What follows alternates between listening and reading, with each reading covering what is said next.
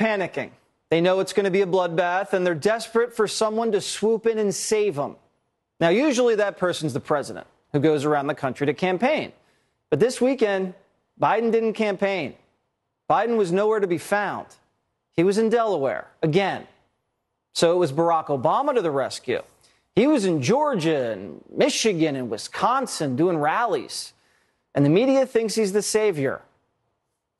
They're relying on somebody who was last on the ballot a decade ago to come in as their closer Yeah. in the midterms. It tells you a lot about where things are. I talked to two people yesterday just in regular conversations. Like, you know, Barack Obama's so good at this. Mm-hmm. And I think that's what they're counting on. Democrats are right. You put your best team on the field, and President Obama is the best team. I think the fact that he's out there also tells you what we know about the election. Joe Biden can't be out there. So this is the only person they can put out.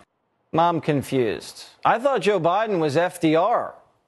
Why does he need rescuing? I thought this was the greatest economy of all time, Ace told us. So why are they calling in Obama? And by the way, Obama, not as sharp as he used to be. A heckler interrupted him during a rally in Michigan. Guy couldn't handle it. Watch. Yes. So, sir, sir, uh, you know, wait, wait, wait, uh, come on, sir, sir. This is this is what I'm saying. Look, we we've got we've got a there is a process that we set up in our democracy. Right now, I'm talking. You'll have a chance to talk sometime soon. It's not a good way to do business. It's that you wouldn't do that at a workplace. If you wouldn't just interrupt people in the middle of a conversation. Hold up. Hold on a minute. Listen, everybody. Hey, y'all up there, pay attention. We're, we're, y'all ever see that movie uh, Up, that Disney movie? Right, remember that that's dog and the dog's talking and that squirrel, and they turn and that's us. That's us with politics. Remember they thought he was cool? well, that didn't go well. But don't worry, after that, Obama brought the talking points. You you hear the Republicans talk a lot about crime right now. Now, violent crime has gone up over the last seven years. By the way, they act like it just happened just last year, as if like the, the, the previous president wasn't there. And by the way, it, it- didn't just happen in so-called blue states.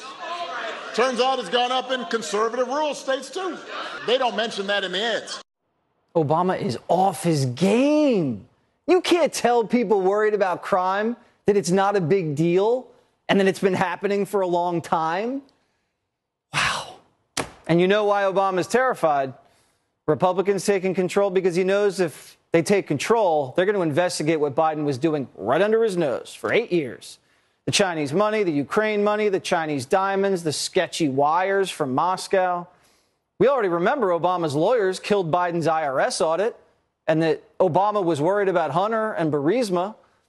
What do you think is going to happen to Obama's legacy when we find out everything Beijing Biden was up to while he was Barry's Veep? They're going to